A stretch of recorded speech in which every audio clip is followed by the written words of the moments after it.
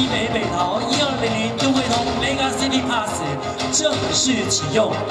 月付一千两百元，民众就可以在基北北桃境内五线搭乘捷运、轻轨、台铁和市区公车以及公共自行车，串联大台北生活圈，也是迈向二零五零近零碳排一大步。四位市长齐聚，鼓励民众减少私人运具，多搭乘大众运输。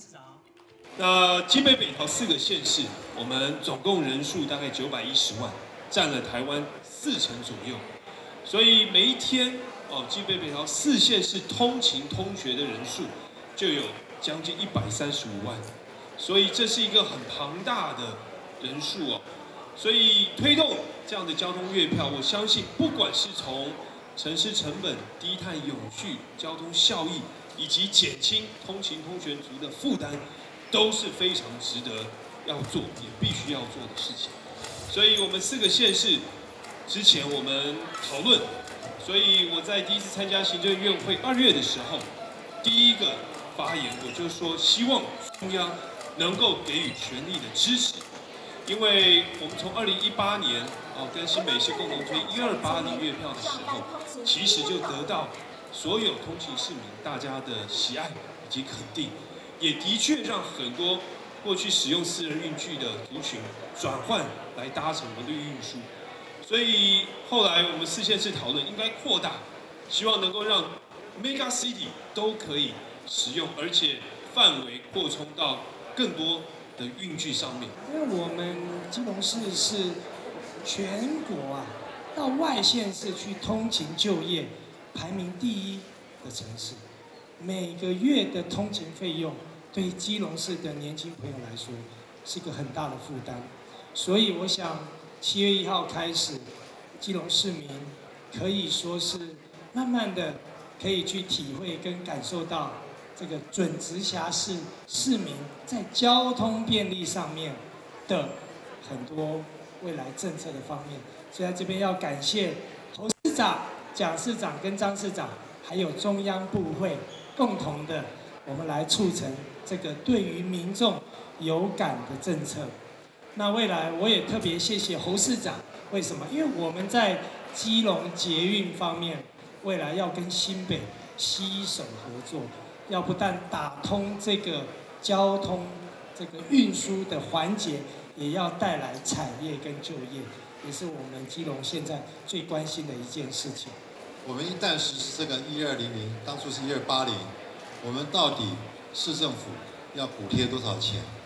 这个钱的金额其实老实说不低，但是我那个时候跟我们同仁说，再多的补贴也不能把它看成是补贴，要看成是一种投资。这个投资是让我们的市民，我们四个县市的市民感觉到说，基北北桃就是一个不分你我的一个共同生活圈，同时把过去我们在公共运输上的投资。能够进一步发挥它的效益，所以看起来是补贴，事实上把这四个城市、县市打造成一个共同生活圈，然后把公共运输的效益进一步的发挥，这是一个必经的过程。这个观念，哎，不错哦，选举还是得到回响，哎，中央也站出来。前几年中央一直没有表态，哎，上去年的鞋子，中央说了，哎，可以，那中央跟地方如何来合作？这就对了，中央绝对不能分哪一个县市，而且中央的做法是希望，除了北部以外、中部以外、南部以外，都有一个公共运输的这样的平台。我觉得这是一个正确的，公共运输绝对不能单一来看。我们是要用盈利的，让大众运输成为生活又便捷又便宜又快方便的一种最重要的人民往来的一个交通工具。这个交通工具不但可以带动运输的量，也可以让很多外国人来到台湾，感到台湾哇，真棒！一个月票，哇，我可以在这里住一个月，我就可以用这个月票。好好在这里生活，所以月票它代表的意义，就代表一个社会进步，代表一个世界趋势的减碳，代表是一个环境的优化，更代表是我们以人民的声音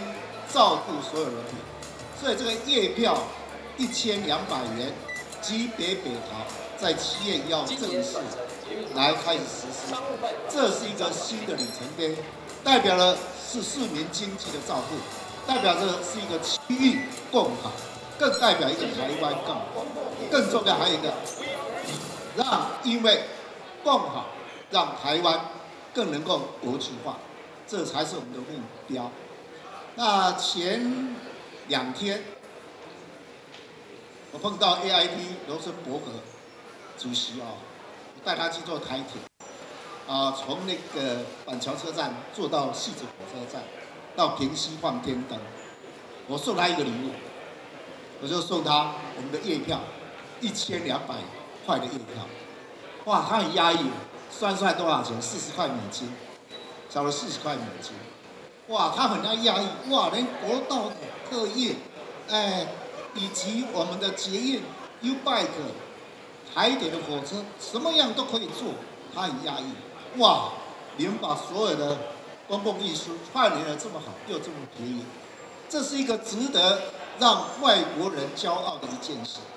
双倍一二八零定期票，一百零七年推出以来，每月提供三十万通勤民众搭乘优惠，有效提升公共运输使用粘着度。一千两百元月票推出，对四个县市通勤族将会很有感。四个县市跨域合作努力，期盼让民众在万物皆涨的时代，感受到大众运输价格不升反降的魅力。记者问俊台北报道。